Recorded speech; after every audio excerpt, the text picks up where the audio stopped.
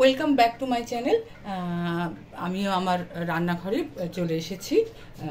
তো আজকে আমি চিকেন লেগ ফ্রাই করছি। তো কি কি দিয়ে মাখিয়েছি, কি করেছি, কি দিয়ে ম্যারিনেট করেছি, সেটা আপনাদের করে দেখাবো। এই দুটো যত সম্ভব চটজলদি আপনাদের সামনে ভেজে দেখাচ্ছি। আর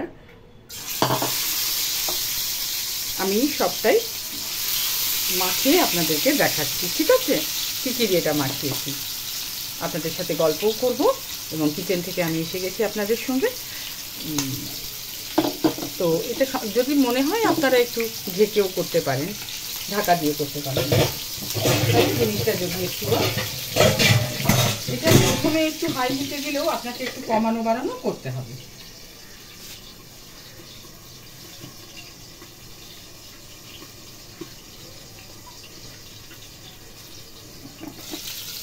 একটু পরে এটাকে উল্টাচ্ছি আচ্ছা কি কি দিয়ে আমি মাখিয়েছি? আমার তো লেবু, ভিনিগার দেওয়াই আছে। তো আমি একটু পেঁয়াজ বাটা, একটু জিরে বাটা, হুম সব কিছু নুন, পরিমাণ মতো নুন, আর দিচ্ছি হলুদ দিচ্ছি। আর রেড চিলি পাউডার আপনারা অবশ্য দেবেন। আমি এখানে রেড চিলি পাউডার না দিয়ে আমি দিচ্ছি। গোলমরিচ গুঁড়ো। আপনারা রেড চিলি পাউডার দিতে পারেন। দেবেন, অবশ্যই দেবেন। গরম মশলা গুঁড়ো। দিয়েছি, দই দেবো এবং সস গুঁড়ো দেবো। দাঁড়ান, এই দিকে এটা কত দিই সেটা দেখছি।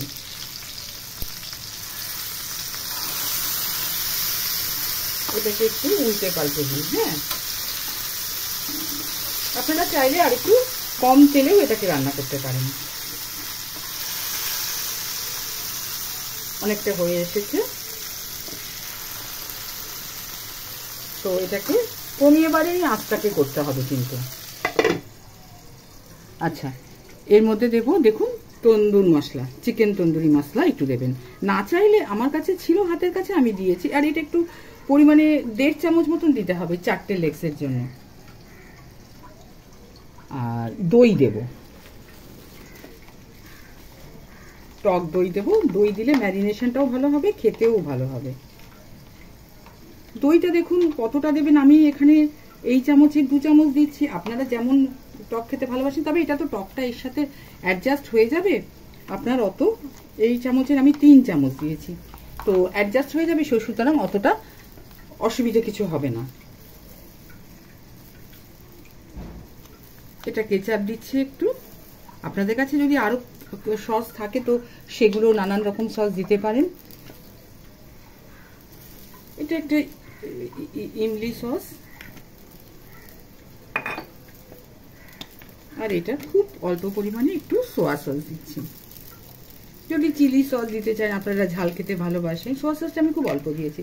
তাহলে আপনারা সেটাও করতে পারেন। আর একটু রসুনের কোয়াটা আপনারা দেখছেন, বড় আছে। এক টুকরো রসুন কুচি দিচ্ছি।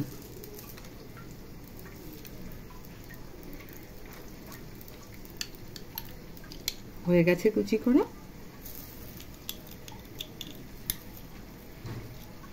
আপনারা দেখছেন, কুচি করা হয়ে গেছে এক টুকরো। এবার আমি এটাকে মিশিয়ে দেখাচ্ছি। আমি এটিকে দেখি এটা আমার কত দূর হয়েছে।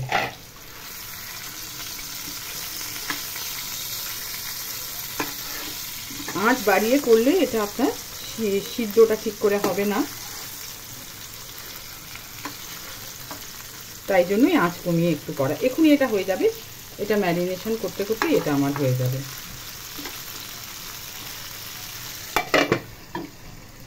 তো সব কিছু মিশিয়ে এটা আমি মাখিয়ে দিচ্ছি। এখানে হলুদের ব্যবহারটা একটু বেশি করতে পারেন। আমি একটু বেশি হলুদের ব্যবহার করেছি।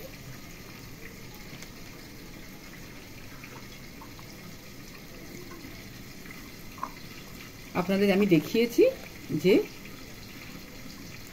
কি কি দিয়ে এটাকে মেশানো হয়েছে। মানে আমি ম্যারিনেট করেছি।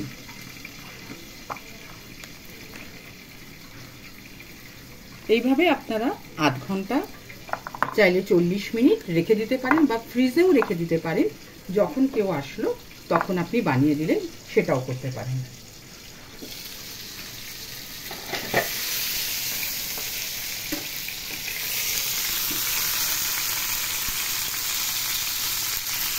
তো এটা অলমোস্ট ডান মোটামুটি হয়ে গেছে। আর এটাতে আমি হয়তো আমার একটু তেল বেশি দিয়েছি, কিন্তু আপনারা তেল পরিমাণে কম দিয়েই করতে পারেন।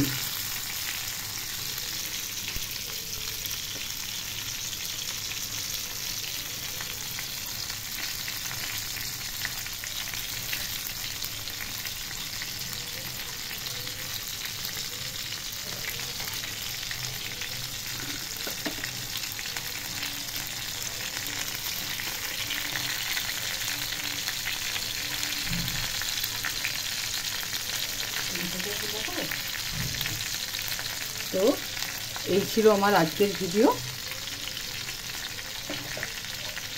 চিকেন লেগ ফ্রাই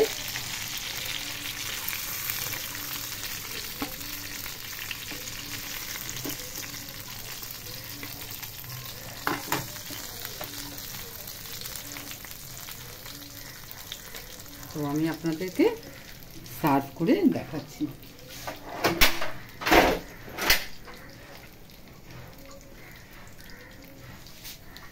দেখুন। সস দেওয়াই আছে, তবু আপনারা সস দেখে খেতে পারেন। আপনারা সবাই ভালো থাকবেন।